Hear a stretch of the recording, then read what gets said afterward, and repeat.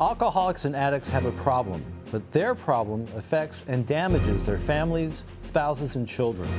How addiction affects the family. That's our topic as we're set to go live. We'll call the doctor right now. Call the doctor. WVIA's award winning healthcare program. Moderated by George Thomas. Call the doctor. Hello, welcome to Call the Doctor, live from your public media studios. I'm George Thomas. Consider this a 22 county-wide intervention, an intervention for the families that suffer in silence. More than one half of adults in the United States have a close family member who has abused alcohol or is addicted to drugs. That's over one half, folks. Families of alcoholics and addicts, it's a subject people don't talk about, especially those who are involved. Now, this show will, will not be about the alcoholic or the addict, but about the families, spouses, and children in that home, what they are going through, and how they are effective. And if you don't think you are affected, let me just set you straight right now. You are, and more than you realize. Of course, over the next hour, we'll tell you about the tremendous help there is for you, and there is help, and more than you realize. For those watching that are living in this situation, this isn't going to be an easy show for you to watch. You're going to want to turn away. I'm asking you not to. No one in the family is spared the effect of alcohol or drug addiction. Just trust me. I know what I'm talking about. Stay with us for the next hour and you will get help. Of course, you could join and be a part of the program by dialing that toll free number on the bottom of your screen, or you can go to our online community at wvia.org in the upper right hand corner. You click on the button and you could submit your comments. And by the way, when you're calling in on the toll free number, if you'd like to be anonymous, that's fine as well. And again, it could be with your comments or question. I'd uh, like to also uh, thank our live studio members that are here with us this evening, and uh, you will be hearing from them as well. Well, we've assembled regional experts and they're ready to help. Let's meet them right now.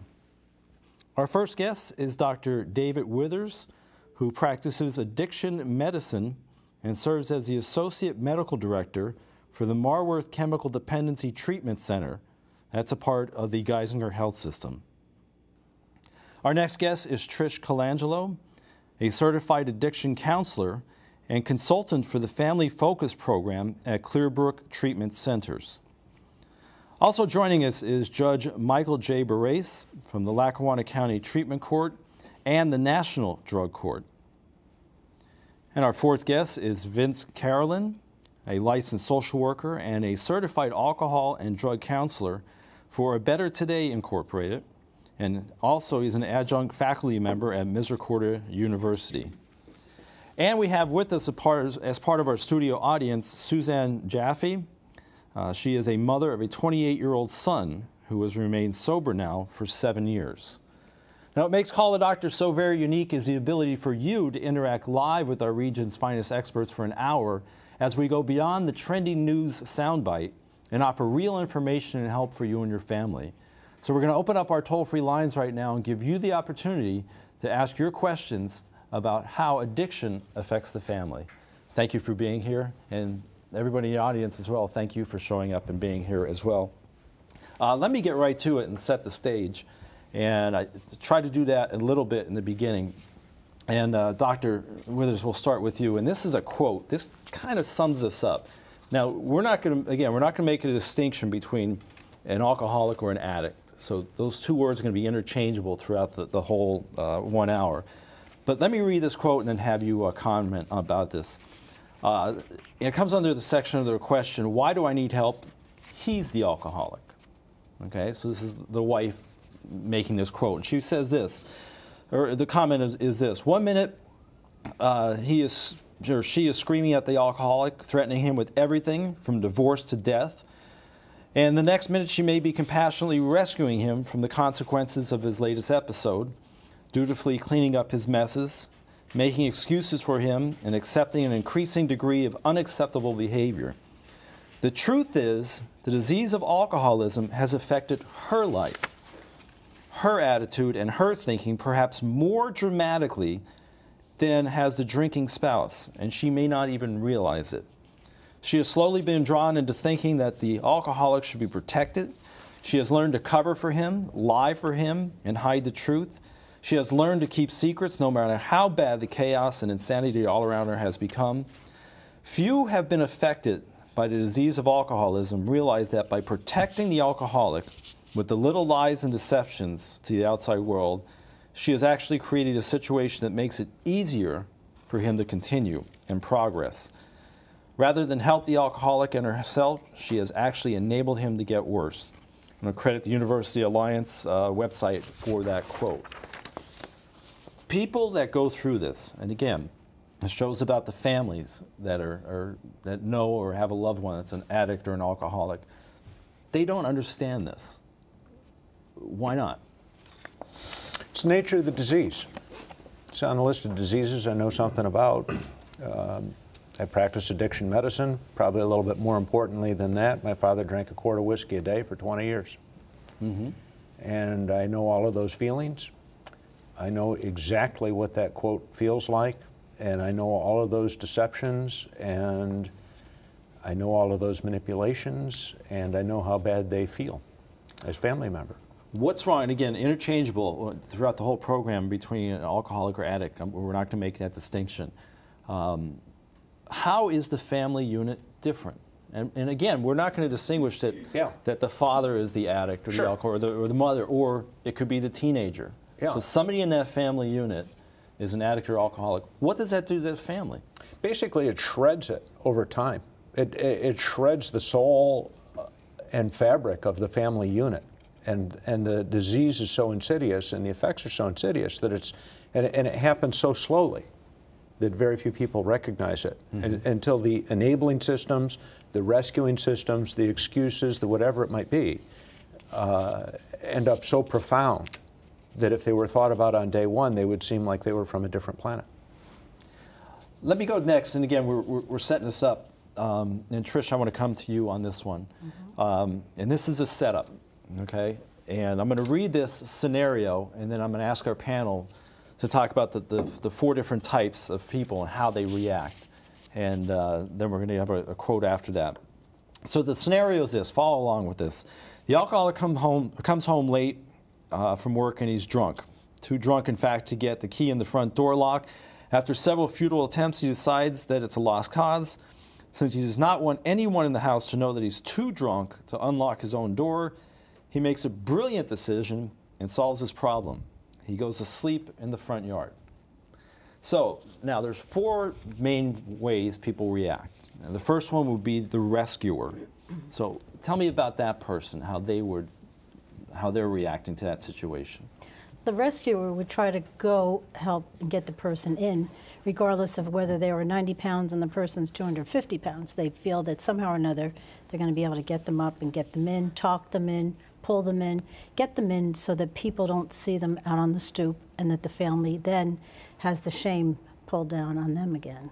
So they try and solve. It. They try the to problem. solve it, but yeah, paint it over, do whatever they need to do. Whatever they need to do to get the person in the house, so they're not seen outside the home. Okay, so that's one response. The second response, and uh, Vince, let me come to you on this one, would be the provoker, the person that wants to punish the person.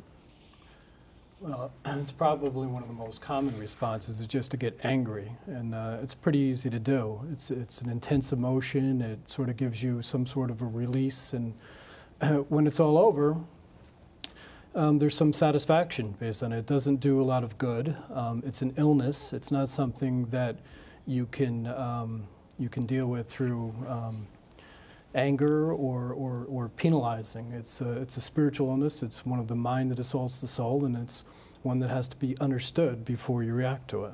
Okay, it's two of the four reactions. We have two more to go.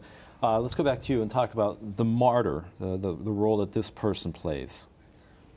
Well, the martyr would be the victim. The martyr, look at what you did, you did to me. How about the kids? Mm-hmm. Um, or if it's a child, you know, bearing the uh, guilt of a, and shame of a parent, uh, not raising the child properly, or so they think. Um, they also will sometimes be kind and they'll put they'll bring a blanket or a pillow and cover the person. But as the disease progresses, there's no pillow and no blanket forthcoming, and they just think, "Woe is me! After all I've done for you, this is what I get." And finally, the fourth one back to you uh, is the enabler. So there's a situation. What does the enabler do? Well, the enabler would probably make every excuse for this person and allow the behavior to continue. Um, that behavior could continue until something tragic happens, death, or uh, many other things that the addict suffers. And the enabler, out of their own guilt or whatever reason they may have, will prolong the uh, progression down. Uh, the, Okay, so uh, we had the we have the scenario down. We know that there were four different types. We have the rescuer, the provoker, uh, the martyr, and the enabler. So the question is, so which one of those reactions uh, is actually helping the problem? And the answer is none of them. None of the above. None of them. So that goes against what we all as humans, I think, uh, think that we should do. So let me go to the, the question after that. So if you can't do that, if you can't do any one of those four things, what exactly should you do as a family member that's being affected? What's the correct reaction?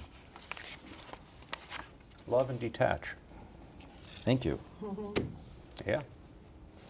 So there's people out there and people in the audience. We're going to hear from them in just a little bit. There are people out there whose fathers, mothers, sons are addicts or alcoholics, and they're, they, they're trying to protect them. They might do the martyr, they might yell at, they might do all this, and you're telling me that the correct reaction is to detach yourself from it. Yes. It's, it's Explain tough. that. It's a very hard thing to do. So exactly how? What do you mean by, and, and I'm, I'm kind of playing a little devil's advocate here on, No, I, on that. I, I mean, I respectfully believe it's a, it's a miserable disease, and it's, it's one that happens by degrees gradually over time, and so it's very difficult to recognize it. And it's even more difficult uh, to tumble to that as being the correct solution.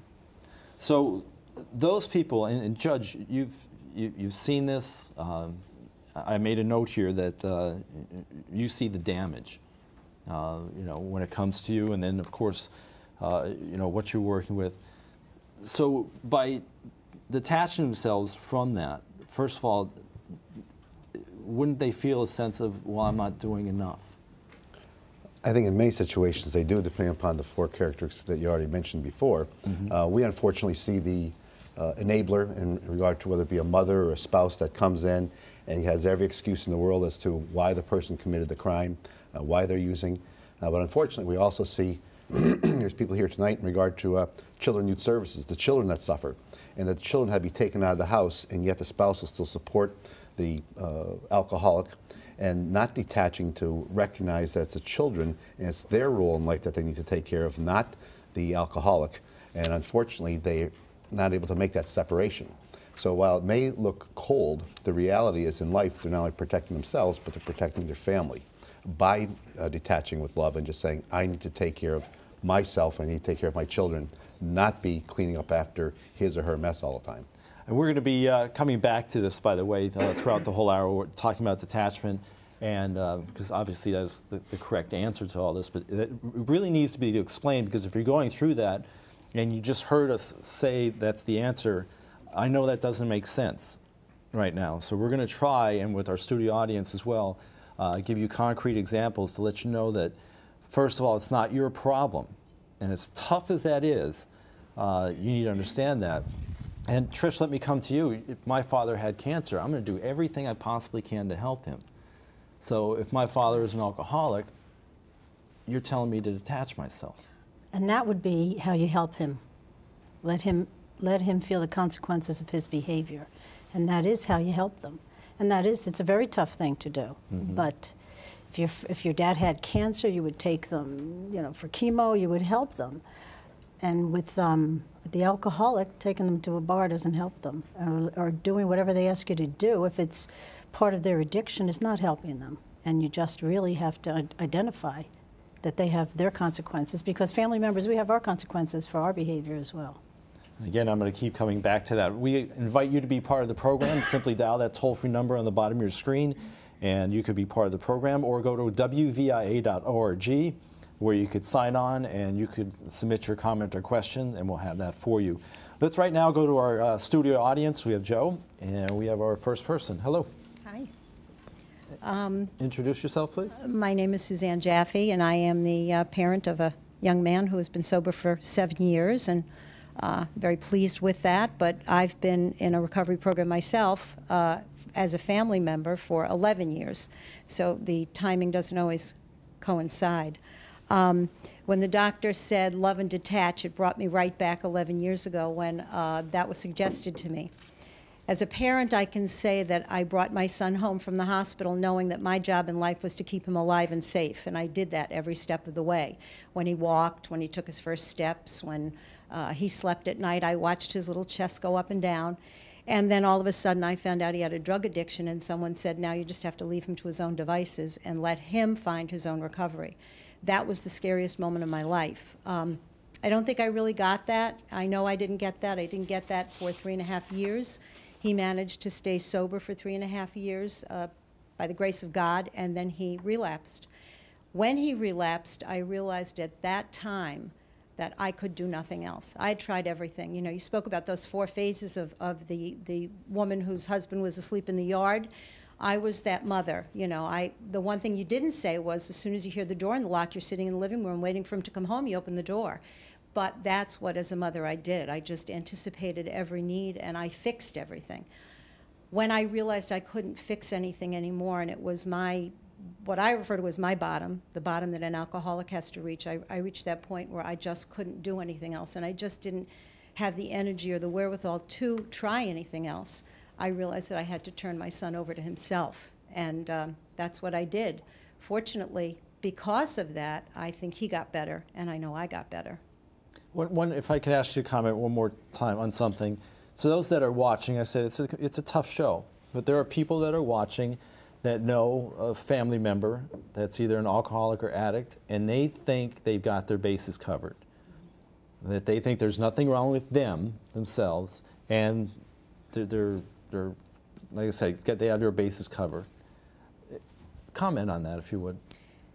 If you saw me when my son was in active addiction, you would know that I wasn't okay. You know, I didn't eat, I didn't sleep, I wasn't functioning, I wasn't communicating with friends, um, I didn't want to go to work. I wanted to be home to sit by the phone and wait for the phone call. So to say it's not affecting a family member, I'd be hard pressed to find a family member it's not affecting. I honestly always have said that the alcoholic gets some temporary relief when they're using their drug or alcohol of choice. A family member gets no relief because we're just sitting there waiting for them to implode. Well, thank you very much. And uh, again, we welcome our uh, audience members uh, to, that's why they're here, because they wanted to share their stories as well. They've been through it, and they know that there's, there's a lot of help out there. And we're going to be uh, telling you about some of that help.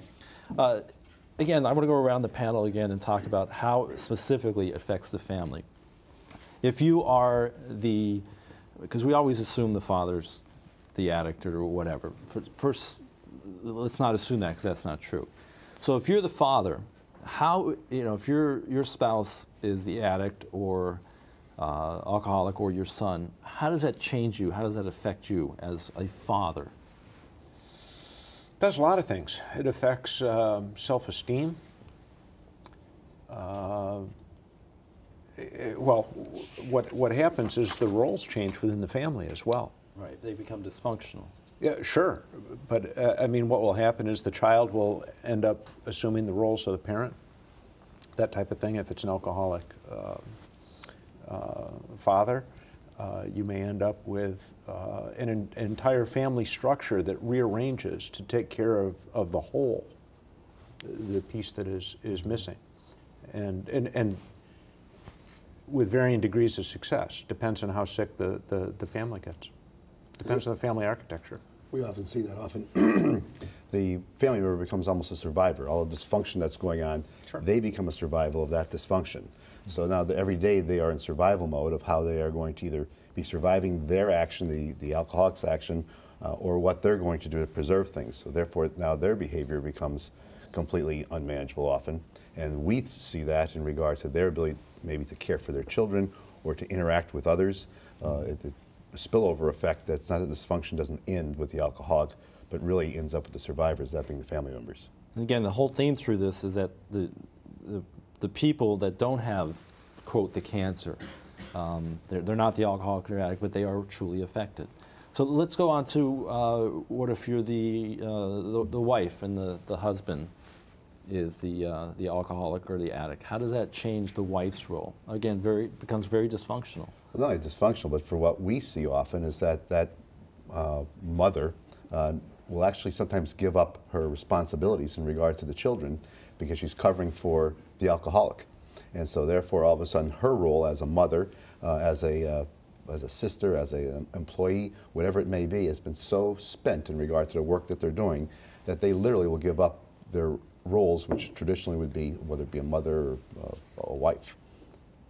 Why, I, I probably going to ask this a few times in different formats, but why do they do that? Why, why do they take on that, that role? Does it just seem logical at the time? I really wouldn't. I, I think that every episode that happens in the home, they just deal with that. They're not looking at the whole picture. They have distorted thinking. They become abnormal trying to make everything look normal. So they're not really thinking about what is going on every, every day because every day there's always something different to handle, to manage, to control. Or lots of times, uh, mothers in particular, as the kids get older, the oldest child becomes the uh, caretaker in the house. The mother takes to the couch. Depression is a, is a, a real thing for a spouse of an alcoholic, and um, they just usurp their roles. And and the, the dad is drinking drunk, and the kids are guiding themselves, raising themselves. The oldest child has that role, which is um, not not fair, but that's what happens. And the and the wife becomes angry, but yet protective of the of the spouse, and then they become frustrated, and then they become loving, and, and it's just they they go to extremes. They go to extremes. We look at the number of cases, for example, domestic violence, the number of women that become victims of domestic violence and the police arrive, and the first thing they do is the women start attacking the police officers, saying, "Leave him alone," and uh, the whole thing gets you know completely turned around as to who's at fault here, and then they come into court and the exact same thing. They'll be they'll rather abandon their children sometimes to defend the alcoholic, and they they may come in all bruised up or from a hospital bed. And so the thought of rational decision making, uh, or what the big picture here is, is not really what's in their mind, but just what they're going to do to get through today. So they'll come in the court at that time and say, no, I don't want to press charges, no, I don't want to do anything, and the dysfunction continues. That's correct. And then you've got a next generation that's Right. affected by it. That's my next question. The children of uh, growing up in an alcoholic home um, or the addict's home. Um, I doubt very many children are watching this program right now, but there are a lot of children that grew up that are now adults or adult children of alcoholics. They are profoundly affected, Yes, they are. um, and they don't know it. How are they affected? Well, seven out of 10 children of alcoholism are affected, and they'll repeat the behavior. They'll either become an alcoholic, marry an alcoholic, or both. The other three, they don't get off scot free. They think, oh, uh, they wind up perfectionists, workaholics, angry adults. I deal with a lot of adult children of alcoholism, and they're very angry. They're, they're perfectionists, and they not only demand it from themselves, but they demand it from everybody else. Because when they came from a family of alcoholism, they said, That will never happen to me. I'll never be like him. I'll never be like her. And when they find out that they're in that same exact situation, mm-hmm. they get pretty angry. And unless they deal with that and get some help and healing for that, they stay angry, which is sad. We're going to take a uh, question from the audience, then we're going to go to our phones. And again, we invite you to be part of the program, either by calling that toll free number on the bottom of your screen or going to our website at wvia.org and you can submit your question there. Please do not turn away because we still have not even talked about what type of treatment there is, and there is a lot of treatment for the families, spouses, and children that are growing up or, or that are in this situation. So please don't turn away. Let's go back to our uh, audience. Please introduce yourself.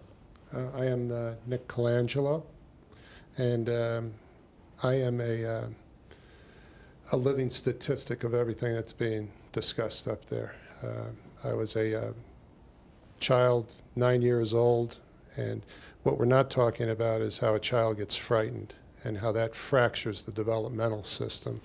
and how the imagination puts the life together as a child of an alcoholic. I'm also statistically the person who became an alcoholic and as a perfectionist and as an overachiever and as everything else. And the good news is that there is hope through um, information and uh, through assistance and um, what we call treatment to where people can be restored and the damage of uh, early childhood can turn into uh, assets. I know there's um, there's a lot of books out there. Is that that the way you found help, or did you seek treatment? Um, books. I wasn't looking for an answer. I was too busy fighting with everybody over everything. And once, uh, and I think it's fair to say that the alcoholic in my life became sober when I was nine years old, but no one ever talked about it. There was no information sharing. There was just the stopping of the drinking. And then there was the dysfunction of the household and the separation of all the members of that family, not making contact, not talking about it, not talking about a solution, and moving on with their lives, and then the discomfort or the pain that I had, not known to me, was relieved greatly once I drank alcohol. And then I became alcoholic and began a process of uh, suffering consequences and asking for help from other people, but not willing to do what was suggested, and eventually wound up receiving treatment, the proper information, the, uh, the proper education, and then the willingness to follow the instruction, and then the solution presents itself. Well, thank you for being here, and thank you for sharing uh, that. That's what we want. And again, folks, these people are here of their own free will, and they are letting you know that there is help out there, that you are affected, but there is help out there. Let's go to our phones right now and take our first phone caller. And this person would like to be anonymous. That's fine. And this person is calling from Scranton. Go ahead and welcome to Call the Doctor. Hello. Hi, go ahead, please. Uh, this is not a question, it's just a statement, if you have a little bit of time, okay? sure. I have two sons. Were born nine and a half months apart. They are now 44 years old. My oldest, whose name I won't mention because he's been in Marworth, and he's been to Clearbrook, and he's been to Choices. Okay? He started doing heroin in his late teens. He eventually ended up in New York City. He thought he was very funny, went to be a comic, and he got heavily into heroin. He sold dope for a Chinese gang where he was supposed to make $25,000. It was a sting. He was arrested, federal charges. He did nine months in a federal boot camp in Mineville, New York. Uh, when he came out, he came to Pennsylvania for clothes, myself and my family. I mean, he didn't want to wear the prison work boots and that kind of deal and he did he looked wonderful. That's the healthiest I've ever seen him. That was 13 years ago. He is an official missing person. Uh, it's all with the FBI. I did everything that I should have, you know, 13 years. Okay, son number two went into the army trying to get away from dope in the small town here in Lackawanna Valley where he lived. And he served proudly in special ops in the Middle East. When he came home from the Army, he had been stationed at Fort Sill in Oklahoma, so he stayed there. I never had a permanent address or phone number for him. I would have to wait for him to call me. In the summer, this past summer, I got a phone call from his ex girlfriend telling me he was in trouble. And I said, What do you mean by trouble? Well, he'd gone from 175 pounds to 140, and he was really, really hooked real bad on meth. Hmm. And the last she heard was that he checked into detox, and then he checked himself out after three days.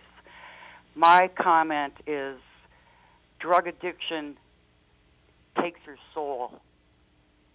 It just there there aren't words these kids were altar boys and they were Cub Scouts and they were honor students and they played football. And I'll let dope kills. And that's my comment. Thank you very much. Thank you for calling in. Thank you. Let's go to any comments on I think one of the things that uh, was mentioned there in regard to the one that was arrested, uh, awfully hard to say this to family members, but sometimes an arrest is the best thing that can happen to an addict or an alcoholic. It actually not only arrests their conduct, but arrests sometimes their addiction at that spot, at that point. And at that point, as was mentioned before, then there is the help that can be accessed. So the thought of somebody being arrested, while many family members say that's horrific, I, I want to protect my uh, husband or my daughter. Uh, there's a number of families that actually call up the police and say, you have to stop my son or daughter because they're going to die if you don't do something. Because they're robbing from everybody, they're, they're you know, using every day.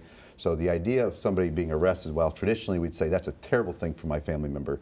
In this particular case, when we're talking about addiction and alcoholism, sometimes it's the only way in which you're going to be able to stop that person at that point in time. Again, we're already at the uh, halfway point. I want to show you some uh, slides where you can get some more information, and uh, then we're going to reintroduce our panel members, and we're going to talk about uh, in specifics where you can get um, what type of treatment, what type of treatment there is. Again, this is not for the alcoholic or the addict. This is for the family, the family members. First of all, Clearbrook uh, Treatment Centers. Uh, just do what I do, folks. Google it. It's, it's a lot easier. Uh, clearbrook.inc.com, and uh, they got a great program. We're going to hear about that. Lackawanna Susquehanna Office of Drug and Alcohol Programs. Uh, again, we're going to hear from uh, Judge Barrasse on that one. Uh, Better Today, uh, Inc., and we're going to hear uh, about that from uh, Vince in just a second. And also Geisinger Health System with what they have with their treatment centers, um, which is the Marworth Chemical Dependency Center. Let me reintroduce quickly our panel members that we have during this program. Our first guest we have is David Withers, and he practices addiction medicine and serves as the Associate Medical Director for the Marworth Chemical Dependency Treatment Center. That's a part of the Geisinger Health System. Our next guest is Trish Colangelo, a certified addiction counselor and consultant for the Family Focus program at Clearbrook Treatment Centers. Also joining us is Judge Michael J. Barrasse from the Lackawanna County Treatment Court and the National Drug Court. And we have with us also Vince Carolyn, a licensed social worker and a certified alcohol and drug counselor for a Better Today Inc. an adjunct facility and also an adjunct facility member at Misericordia University. Again, for the remainder of the show, if you'd like to be part of it, simply dial that toll-free number at the bottom of your screen, or you can go to our online community at wvia.org and you can submit your question there. Uh, in fact, if we can, can we bring that first one up uh, from the online community? And we'll take that question. I believe this one is to, uh, to Trish, to you, and the comment is, how does drinking affect adult children, of the adult children later in life? You touched on that briefly before. First of all, the point, and- I don't want to sound like a broken record, really, but they are affected. Definitely are affected. No, nobody skates. Nobody. Nobody gets away. Everybody is, has very long tentacles, alcoholism, and it goes through generations. Children, adult children of alcoholism, they go one or two ways. They go completely, I don't want to be near anybody who drinks. They don't marry anybody who drinks. They raise, raise perfect children, and they're more than willing to tell you that. And then, and then you have the other one who says, well, I'll never be like him or her, but they become exactly like that person. I always say to the people that I deal with, take a look. It's Russian roulette. If you have alcoholism in your family, it's Russian roulette. Ask yourself how important that is to have that drink. And if it's that important, then maybe you need to check into Clearbrook. But it's um, very often they get very rigid, and, and everything about them is um, angry. Their drug of choice is anger, and they they just really go through life very irascible, critical, irritable, and then then it passes to the next generation. And and we see pa- we see a lot of people. I see a lot of people where very often we're speaking. Um, they're angry at the alcoholic, their parent, but they're sometimes angrier at the non-alcoholic. And that's Because they didn't do anything. Because they didn't do anything. They didn't protect them. They didn't guide them. They weren't there for them emotionally, and they're pretty angry at that person. And then they don't know it until they get some sort of help and start talking about it. So they need to get help. That's what. Definitely if need to get help. If you were up in that situation, you need to seek help because Absolutely, you were no affected. question about it. You were affected by. You can't live day in and day out in an unpredictable world, and alcoholism is unpredictable, and you can't live as a child knowing, well, yeah, they're going to be in a good mood tonight, and if, it, if the alcoholic's in a good mood, so is everybody else. If they're in a bad mood, everybody gets in a bad mood, they start picking on each other, and, and you live like that, and you don't get away with that.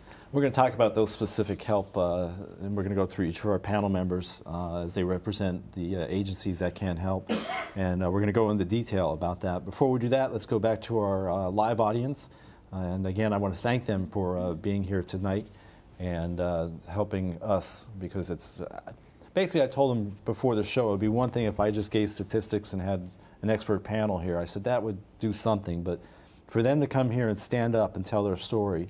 I hope that's getting through to you. Because these people have been through this and they know what it's like to get help and be on the other side. So please, please take that to heart.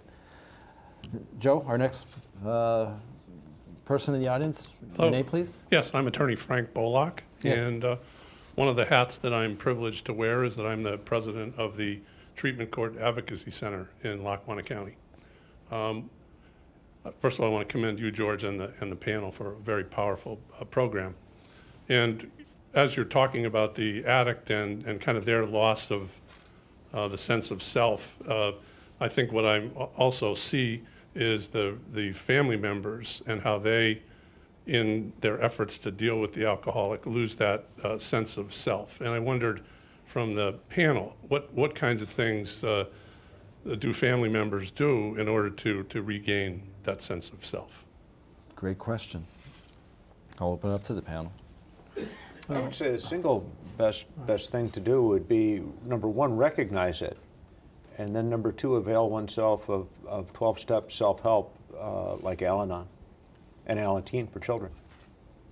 I think depending upon how severe it is, uh, for themselves it might be going to Al-Anon or Alateen, but uh, often, uh, depending upon if other family members are in jeopardy, uh, it's amazing how many times we have cases in which uh, mothers or fathers are driving the car drunk and the children are in the car, or Sure. the, or the uh, child or, is going to score drugs and they have an infant in the car, and yet the mother, grandmother, being the caregiver of the, of the uh, grandchild, is not doing anything, knowing that her child is going to now drive away with this, this child.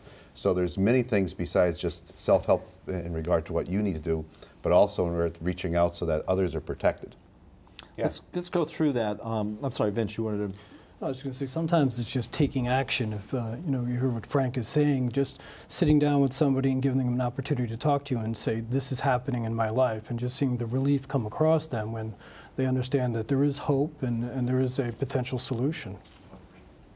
We're going to, uh, before we take some phone calls, by the way, we are, uh, we will be taking those phone calls in just a second. I want to go through the panel, and if we could bring up on the screen, pardon my voice here, um, Dr. Withers, we'll start with you first, uh, with the Marworth Chemical Dependency uh, Treatment Center, uh, part of uh, Geisinger uh, Health Center, uh, or health system. So a person is in that family, they come to Marworth, what, can, what kind of help can they expect? Well, mostly in that scenario, it would probably be outpatient type of counseling that would be available to the, the spouse or family member. And, and they, they frequently come with uh, a lot of, you know, wondering what's wrong with them. And the reality is um, the whole family system is sick. They did not cause the chemical dependency and they can't fix it. And I think that recognition can be somewhat liberating. Uh, Judge, And healing. I'm sorry. Uh, Judge Barrasse, um, Lackawanna County Treatment Court and the National Drug Court. First of all, what are those? The uh, treatment court essentially is a person's arrested, you're using the external pressure of the criminal justice system to hopefully bring upon internal change. That means essentially they're being brought into treatment, saying, here's the tools that you need to recover in regard to what you need to move forward in life. Uh, and then in lieu of that, they're not just sitting in a prison the entire time. So there's an arrest, and there may be prison involved, but it also means that there's going to be treatment involved there. But the second part of that, which is equally as important, is it involves the families. We're very fortunate, like uh, this evening, uh, like every Tuesday night, there's a family-to-family uh, session at St. Mary's held uh, in Scranton, which uh, Clearbrook uh, puts on. And so the parents and sometimes the siblings or spouses of defendants in our courts must attend. And so it allows the entire family to look at this holistically rather than just the defendant. Also, you look at programs that are going to help the children uh, that are being neglected because of the uh, alcoholism. So, what are you going to do to make sure that they're protected and make sure there's not only a treatment being uh, provided, but also uh, parenting programs? Uh, what are you going to do to make sure the spouses that now aren't receiving their uh, support or alimony, whatever it may be, because of the fact that the person's not working? What can you do to put programs in place? All the collateral damage that the alcoholic is doing to the rest of the family, the court looks to say, what are you going to do to make sure you're responsible uh, for what you need to do? We have a lot of phone calls. We'll be getting those in just a second. I want to go through the other uh, two panelists here and the, uh, the help that they offer through their agencies. Um, and Trish will come to you with Clearbrook Treatment Centers. Uh, what type of help would they provide? Clearbrook provides a weekend program for the families. We have a house specifically built for families to come and spend the weekend. And by families, I mean children from nine years old and up, siblings, grandparents, and whoever wants to come. And we do an education program because very often asking persons to say stop enabling or they don't even know what we're talking about. So education is the key. Get them to understand and look at the symptoms, look at their behavior. What happened to you? And as soon as they start to see that and understand this is all part and parcel of the disease of alcoholism, it helps them to perhaps want to change, perhaps want to do better, perhaps understand what they can do. We also have, as the Judge uh, mentioned, uh, seven different sites of a program that we have called Families Helping Families that Clearbrook Foundation sponsors, and that is in the Northeast Pennsylvania area as well as two is in Florida. And that's an education program, and we offer that uh, an hour education. We do different persons lecture on different topics, and then they go into a group discussion. And this group discussion, we ask family members not to be in the same group, and it, that really helps them understand what happened to them, that their son or daughter didn't do it to them, or their husband or wife, and they're in, in a circle with people who understand where they were, and lots of healing takes place. We've been doing this for 11 years with, with very good success in the Scranton area. And Vince, with you for a Better Today? Well, outpatient drug and alcohol has a sort of uh, different service. We're sort of at the front end and the back end. Often we'll have uh, families coming in with what we're going to call the identified patient when all of them actually are affected by the illness, and we'll have to perform triage. We'll have to sit down and figure out what the problem is, who has the problem, and then where do we go. Um, the, the client, if we will, the person who's identified as the addict or alcoholic, they get treatment and uh, the rest of the family kind of doesn't. Um, you've heard a lot about information lacking and resources that are lacking. The need far outweighs what exists, especially for families. For the sure. addict, there's treatment. But for the family members, they go around ill for a while until they find some sort of relief from the service. Uh, we would refer our families down to Families Helping Families or to an Al Anon meeting in their local area. And in some cases, we try to perform the family counseling ourselves. So, folks, there is help out there. Get yourself help. And again, if you think that you're not affected, you're just kidding yourself. Let's go back to our phones right now and say hello to uh, Marguerite, uh, calling in from uh, Hanover Township. Thank you for waiting and welcome to Call the Doctor. Thank you for having, hearing me. I've had this question in my mind for such a very long time. It doesn't make any difference who answers it. Maybe more than one opinion would be very good. Um, I don't understand how alcoholism and addiction are considered illnesses. There is a choice involved of something that you're due to your body in order to make you get this. I mean, I realize there's a predisposition people sometimes are ignorant and they don't have the knowledge to steer clear of it altogether or be very cautious when they're drinking if they know it runs in the family. Where like diabetic, you know, it runs in the family. You try to watch your diet. You try to get information.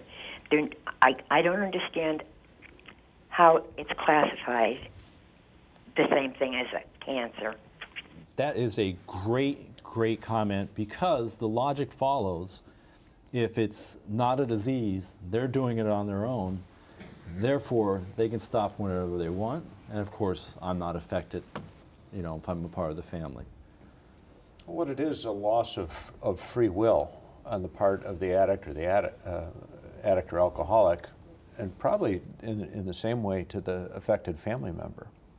And so we now know that alcoholism or drug addiction is 50% genetic and 50% environmental. But at some point, the reward mechanism of the brain gets hijacked. And uh, I mean, you can look at it, and the uh, addict or alcoholic's reward system gets hijacked, and they compulsively start to use drugs despite consequences. Uh, in similar fashion, uh, the family members sort of get addicted to the controlling problematic behaviors that, that they eventually display, or the anger, or whatever. Actually, that caller brings a bridge over um, from one into the other. If, alcohol and drugs are symptoms um, of a much greater condition, dependence, addiction, and you can make the argument that just about everybody has some form of this condition, whether it's a level and degree, and the family members sort of evidence the same thing in what's called codependency, and the dependent on the addict, and whether the addict's healthy or not, they have some compromised role. Let's go back to the phones again and say hello to Donna calling in from Scranton. Donna, thank you for calling and go ahead with your comment or question.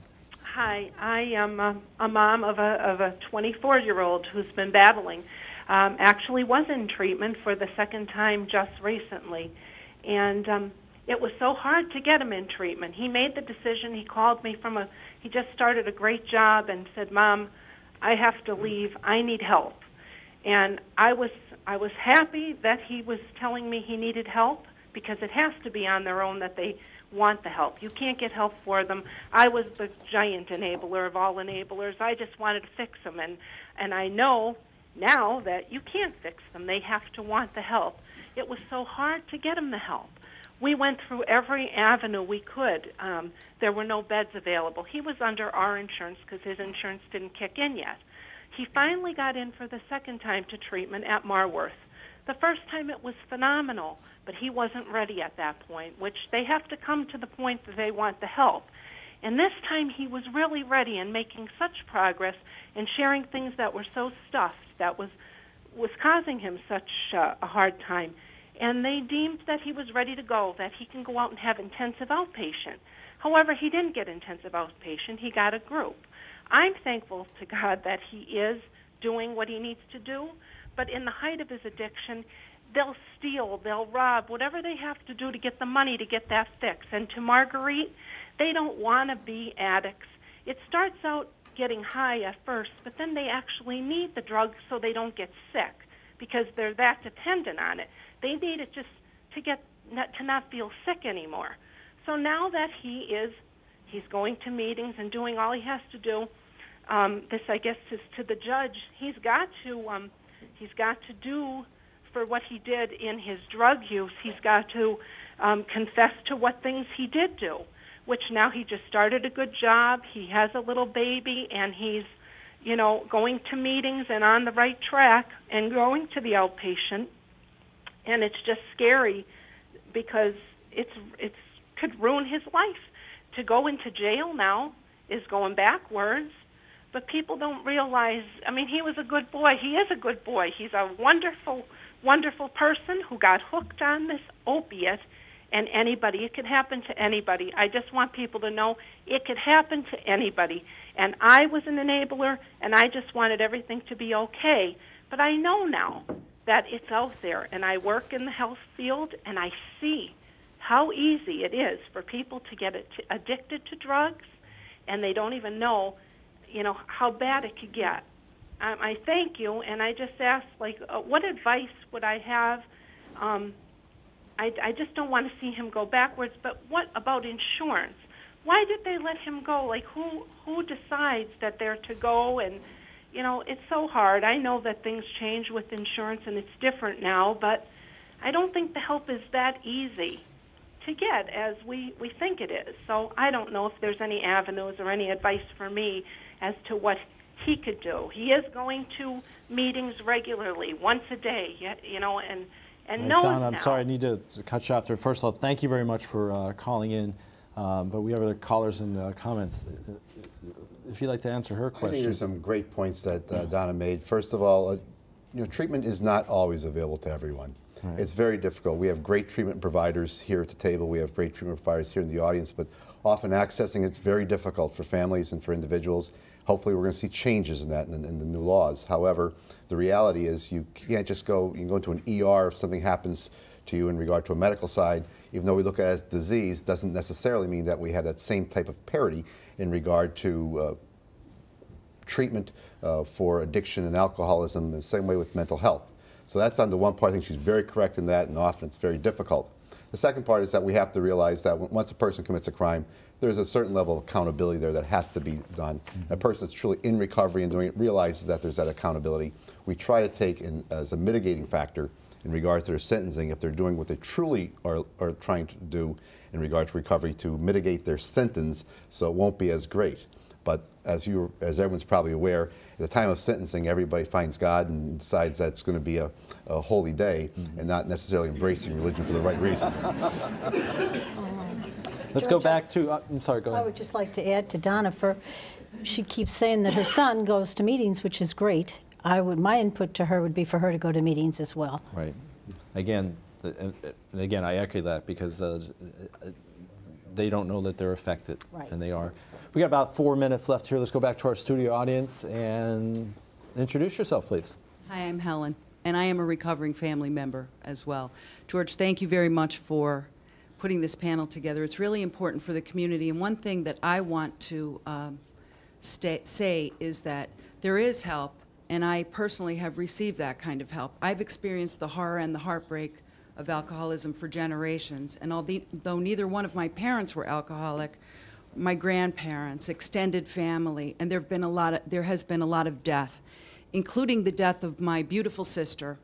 And I want Donna to know that, and Marguerite to know, that she had a, the disease of alcoholism, but she did not want to, to be an addict.